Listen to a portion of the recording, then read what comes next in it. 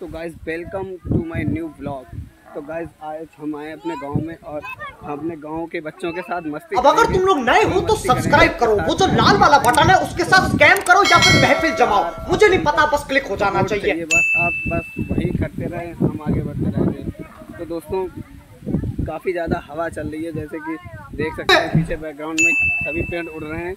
और छोटे छोटे हैं अभी ये सब तुम्हें डांस दिखा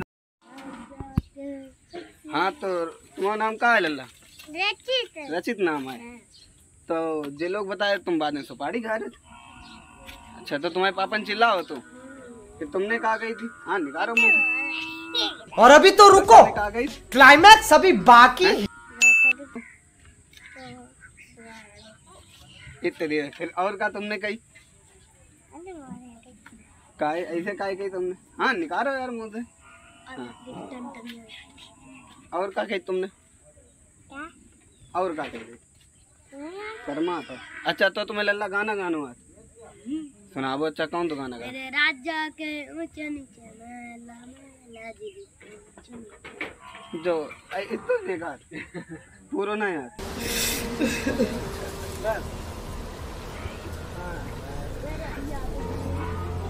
जे काम चल रहा है मतलब तैयारी शादी आदि की तैयारी है इधर देखो तो सब काम वाम चल रहा है इधर।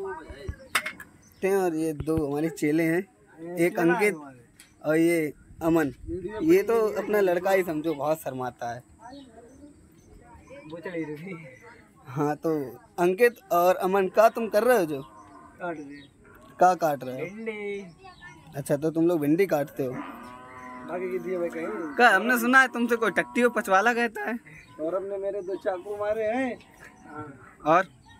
देखो ये भाई साहब फ़ोन के लिए देखो। मेरे दो मेरे चाकू मारे। सौरभ ने दो चाकू मारे हैं और जानते मारने की धमकी दी है। तुम कमालगंज में मिल। गए इतना लंबा तीन सौ? बंद करवाओ यार बंद करो इन्हें। अच्छा।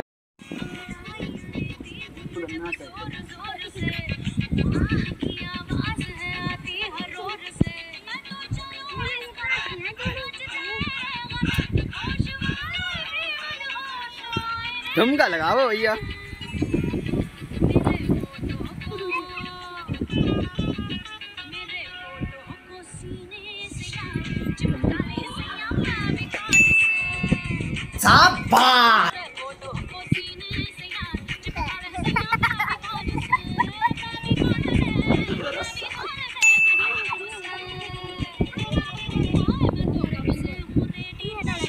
नेवर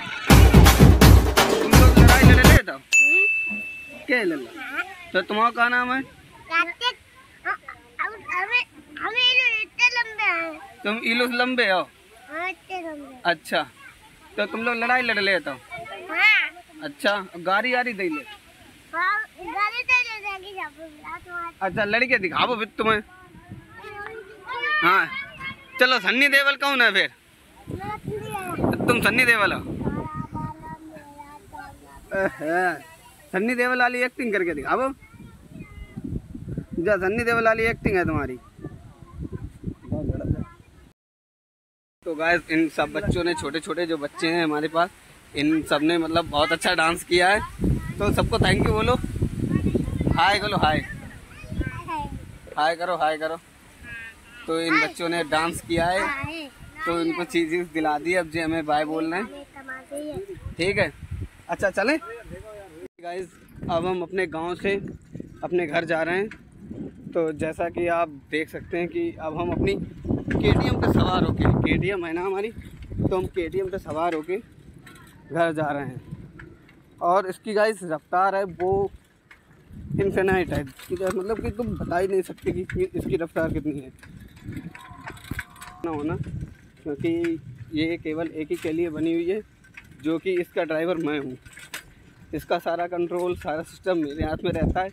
कोई अगर और बैठेगा तो ये शायद पता नहीं चलेगी। नहीं चलेगी यार, क्यों नहीं चलेगी? लेकिन हाँ कह भी नहीं सकते चलेगी कि नहीं चलेगी।